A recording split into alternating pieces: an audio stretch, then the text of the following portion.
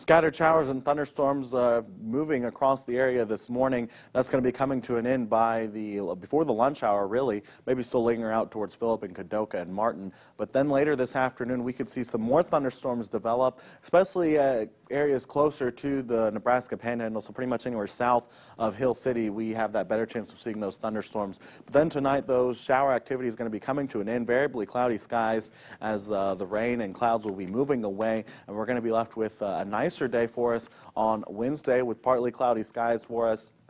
And in the afternoon, somebody's going to get hit with a thunderstorm. I guarantee it. And it could be in the hills. It's looking like the best place uh, we could see those pop up afternoon thunderstorms. And it could be heavy at times, maybe even uh, causing a few more flood, flood problems that we really don't want to see at this time. But it'll be a warm day for many of us. Temperatures get into the 70s.